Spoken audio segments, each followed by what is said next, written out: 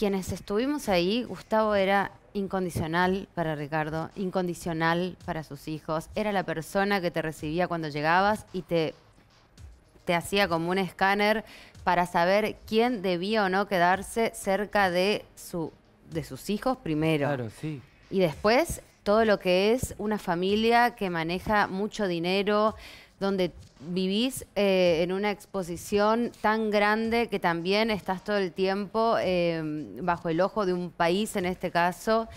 Yo creo que era un tipo súper honesto, que jamás le sacó un peso, que él necesitaba demostrar que vivía por y para esos chicos porque los quería, que vivía por y para Ricardo porque lo quería, que él ganaba su plata. Estoy convencida, o sea, eso tenés esa necesidad de demostrarlo. Tenés esa necesidad de demostrarlo todo el tiempo. Lo viviste en carne propia. Lo viví en carne propia, pero hoy yo no soy el centro, pero lo conozco. eh, Te lo hacen sentir. te lo hacen sentir. eh, bueno, o sea, creo que eh, deja en evidencia eh, la manera de pensar que ellos tienen, el hecho de decir, che, en vez de decir, te estoy pagando por tu trabajo, eh, sos un vividor que querés prensa, sos un vividor que querés un viaje, sos un vividor que Un querés una ropa. Vos agradecé que sos parte de... Yo creo que si él no tenía motivo más que significativo como eran esos nenes y como fue mi caso, necesitas irte de esa, de esa situación. No es sano, no es sano ver el manejo del dinero, no es sano ver cómo la gente se te acerca por interés, no es sano ver cómo además, pese a todo, tenés que vivir bajo, eh, o sea, ser juzgada por una Humillación, ¿se vive sociedad. humillación también? Todo, todo tipo. Lo aguantás hasta un tiempo, decís, che, pero si yo sé que estoy acá porque lo quiero, porque lo valoro, porque hay otras cosas, seguramente es difícil de entender.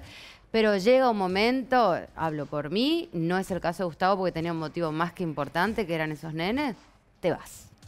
O sea, no hay opción. Nunca llegás a formar parte de ser, no te tienen en cuenta como familia. No, a, a uno seguramente no, más que el- los importantes. En mi caso, lo que era eh, Ricardo, Gustavo y los nenes, y Marisa, siempre la sumo porque es parte, sí. Pero no Marta, Eduardo. No, Marta, no, yo tuve buena Marta experiencia. bien. Yo, Marta, íbamos al teatro. Y ahora, Virgi, una vez muerta. Marta, ¿quién crees que quedó un poco al mando de la familia? Y Eduardo. La única persona. Eduardo. Que queda, sí.